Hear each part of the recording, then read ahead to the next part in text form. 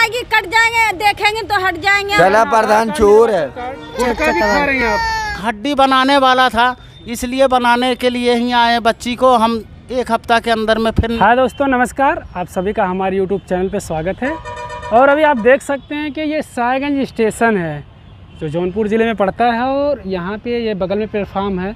और प्लेटफार्म के बगल में ये रेलवे ट्रैक के बगल में ये देखिए ये लोग रह रहे हैं झुग्गी डाल डाल के ये कौन से लोग हैं कहाँ के लोग हैं? तो आइए इन लोगों से हम जानेंगे अभी और देखिए रेलवे ट्रैक पे भी बच्चे घूमते रहते हैं कितना रिस्क है इन लोगों को। आइए जानते हैं ये लोग हैं कौन कहाँ के हैं आखिर इस तरह से कैसे रह रहे हैं यहाँ पे? हम है? लोग तो ज़िंदगी से ही हम लोग के माँ बाप मर गए बहन भाई यहाँ हो जवान हो गया शादी कर दी है से।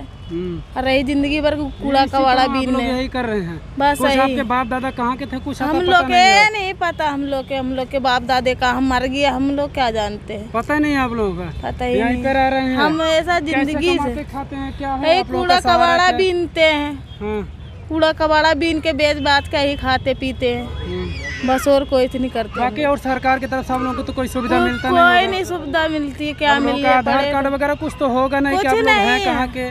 पता ही नहीं आप लोग हैं कहाँ के? पता ही नहीं है पता रहता तो कहाँ?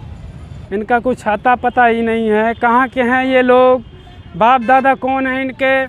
कूड़ा कबाड़ा बीन कर इसी तरह किसी तरह से अपना जीवन व्यतीत कर रहे हैं ज़िंदगी का गुजारा कर रहे हैं। लेकिन ये देख सकते हैं आप कि ये भारत का तिरंगा है भारत का झंडा है।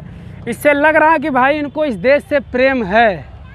देश प्रेमी है ये भाई इंडिया के इनसे प्यार है इंडिया को। इन लोगों को भारत से प्यार है। और देखिए आप लोग ये किस तरह से झुग्गी में बरसात हो, ठंडी हो, गर्मी हो, इसी तरह से इनकी ज़िंदगी गुजरती है किसी तरह से।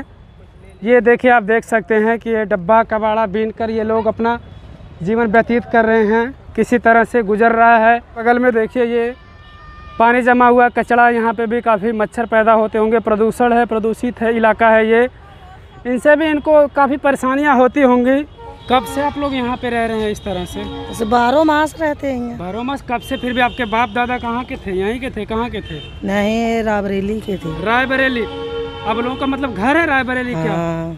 तो फिर आप लोग घर पे क्यों नहीं रहते? इस तरह से ये इतनी बुरी स्थिति यहाँ पे बनी हुई है। बताइए आप लोग इतनी बुरी स्थिति यहाँ पे कितना कचरा है?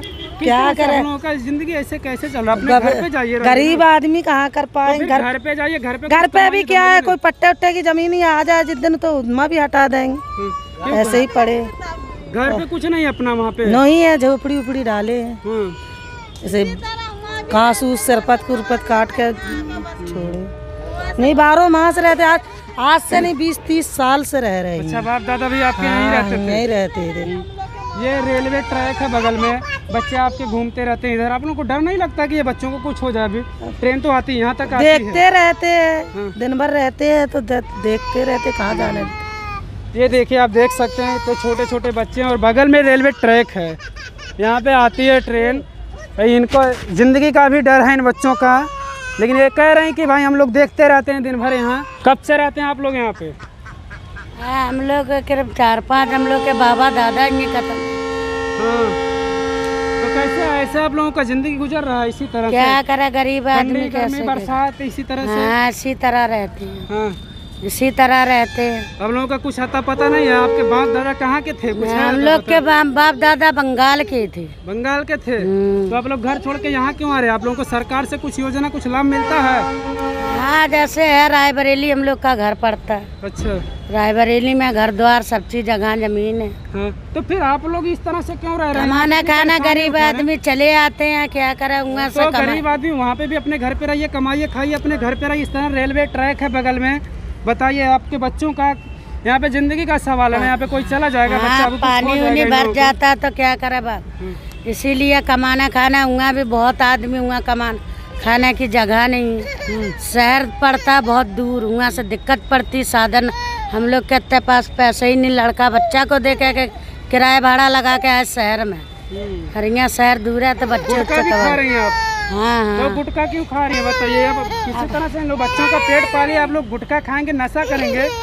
तो बताइए। नशा नहीं करते हैं कि पान पुड़िया कबाड़ा बाड़ा बीनते खा लेते क्यों दादा आप कब से यहाँ पे आप लोग रहते हैं? हम करीब नहीं तो एक हफ़्ता हो गया है।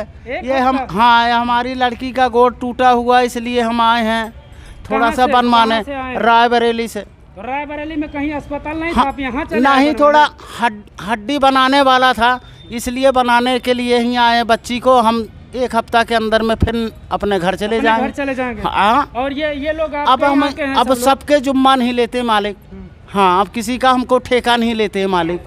अपना जाने अपना हम कर्म जाने। ठीक है तो मतलब वहाँ तो भी तो ज़रूर। होंगे वहाँ भी अरे डॉक्टर हैं प्लास्टर चढ़ाने वाले फिर लेकिन यहाँ हड्डी जौन बनाते हैं। हड्डी बनाते हैं तो इसके पास में लेके आए भाई। तो यहाँ हमारा थोड़ा सही है मेरे बच्चे। और एक हफ़्ता के अंदर में हम है, आराम है अभी? आप आराम हैं बच्चा। छोटा वाला ही सोता है। दीवार गिर गया था मालिक। अच्छा। हाँ दीवार गिर गया था कच्चा घर था। दीवार गिर गया था। इस- रायबरेली में आपका घर है? हाँ घर है हमारा। अच्छा हाँ बस अब हफ़्ता दो हफ़्ता हफ़्ता भर चलेंगे।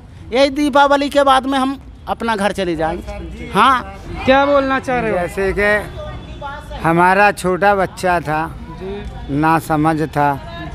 वो कबाड़ बिनता बिनता जैसे वो ट्रेन में मांग उंग रहा था। उसको किसी ने बोला के ले गया।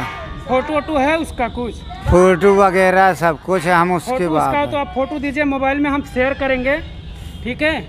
और अपना नाम बताइए आप उसको हम जगह बताएँगे कि हम- में आपके पिताजी हैं। हैं। यहाँ पे। हमारा नाम बुधुआ नाथ है। लड़की का नाम नैना है। चला प्रधान चोर है। तरह आएगी कट जाएँगे देखेंगे तो हट जाएँगे आप कहाँ चले जाए? जब हम लोग के पास नहीं अब उधर रहते तो उधर में पानी भर गया। उधर से इधर आ गया अब पानी सूखेगा फिर उस बगल चले जाएँगे अब कहाँ चले जाए? चलो गरीब चाचा जी हैं रायबरेली समझे? के इन्हीं के यहाँ के हैं ये बता रहे हैं कि सब भाई कुछ क्या है इनके लिए सब कुछ दिया है सबको जगह ज़मीन सब कुछ मिली है। फिर ले लोग कमाई के धंधा में है। कमाई तुमको हुआ का? रायबरेली में नहीं मिलेगा? रायबरेली में नहीं होगा अरे होएगा। अरे काम है हर जगह रायबरेली में करीब नहीं तो बीसन ठो मील खुली हुई। जी। पचास ठो बच्चों छोड़ो जितने आपके बच्चे हैं चाहे ईंटा ढो चाहे गारा ढो कोई भी नौकरी करो लेकिन पेट तो घर में चलेगा ना। यहाँ आके तुम क्या कर रहे हो? कचड़े में रह हाँ? रहे हैं अरे रेलवे की जगह है। अभी दो आदमी आएँगे आपको दो हाथ मारेंगे अभी फूट हो जाएगा। हाँ? क्या फ़ायदा? इससे तो अपना घर पे रहो तो कोई बोलने वाला नहीं है। जहाँ आपके मर्ज़ी हो अच्छा रहेगा। हैं? अरे यहाँ क्या है? समझे? उस दिन रेल वाले आला आया। यहाँ देखो रेल के अंदर में पत्थर डेल दिया। दौड़े आए यहाँ से रेलवे वाले। भगाने लगे। अब किधर भागे? हैं? ये अच्छा लगेगा काम? अरे घर द्वार भगवान ने सबको दिया है यार। मतलब समझे? घर। है? सब लोग? सबका है मालिक। है झूठ क्या बोले हम? सबका है थोड़ा थोड़ा सबका है, इतना इतना सबका है, फिर लेकिन ये धंधा इन लोग का पेशा है। करीब नहीं तो 20-25 साल हो गए इन लोग को ही यहाँ रहे। समझे? पचास ठो आदमी यहाँ मर गए रहते ही। सच्चाई हमें पता चली कि इन लोगों, सबका घर वहाँ पे रायबरेली में सबका घर है। ये इन लोगों का आदत बन चुका है, यहीं पे ये लोग, इनके बाप दादा भी आके यहीं पे रहे और ये लोग भी यहीं पे इसी तरह से अपना कबाड़ उबाड़ बीन के किसी तरह से अपना ज़िंदगी गुजार रहे हैं।